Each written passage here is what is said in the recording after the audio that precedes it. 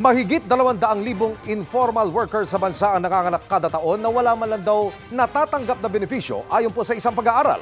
Kaya isinusulong sa Senado ang pag-amyenda sa Expanded Maternity Leave Law para raw maisama sila sa mga makikinabang. Nakatutok si Leia Alves.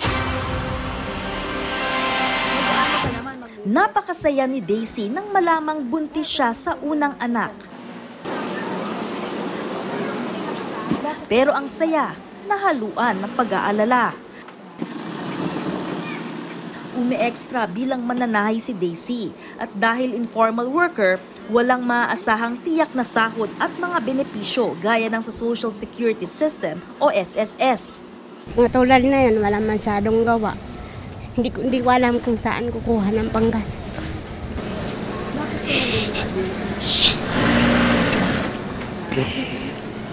Sa hirap ng buhay siguro.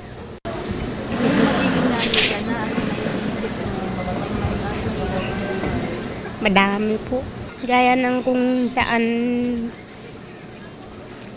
kukuha ng panggastos kasi hindi na makatap pagtrabaho. Tapos marami pa kung iba. Si Mary Jane, nakikipagsapalaran ngayon sa Maynila bilang fruit vendor habang nasa probinsya ang pamilya. Naubos kasi ang kaunting ipon nilang mag-asawa nang ipanganak ang bunso nilang isang taong gulang. Nahirapan po kami kasi po CS po ako.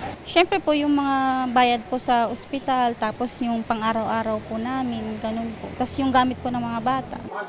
Tinatayang 250,000 na kababaihan mula sa informal economy ang nanganganak kada taon ayon sa isang pag-aaral, kabilang ang mga contractual at volunteer worker.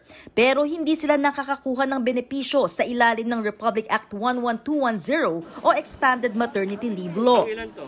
Dinidinig ngayon sa Senado ang Senate Bill 148 ni Senator Risa Ontiveros na layong amyendahan ang nasabing batas para maisamang mabigyan ng maternity benefit ang kababaihan mula sa informal economy na hindi miyembro ng SSS.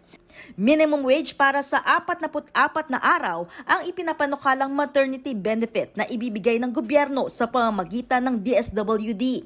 Siyempre, hindi sila regular members ng SSS bilang hindi sila empleyado at marami sa kanila hindi rin nakakayanang mag-voluntary member dahil nga sa liit ng kita, Ayon sa Alliance of Workers in the Informal Economy Sector, noong 2016 lang, 5 trillion pesos ang kontribusyon ng sektor sa gross domestic product.